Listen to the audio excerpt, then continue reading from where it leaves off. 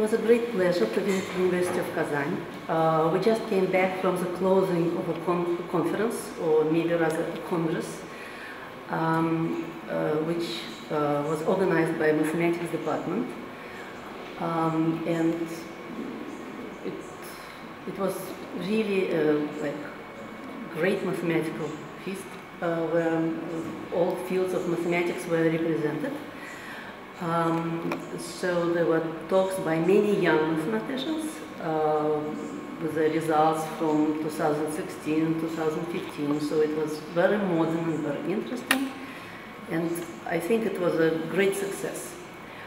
Um, few words about myself. I, I'm not a graduate of University of Kazan, but I was a graduate of Quant, um, camp for young mathematicians um, which celebrated 45th birthday today. And uh, um, so it's a great tradition, one of great tradition of University of Kazan for young uh, mathematicians, uh, winners of Olympiads, um, um, and of course, University of Kazan itself has a phenomenal tradition in fundamental science, so many centuries of great achievements.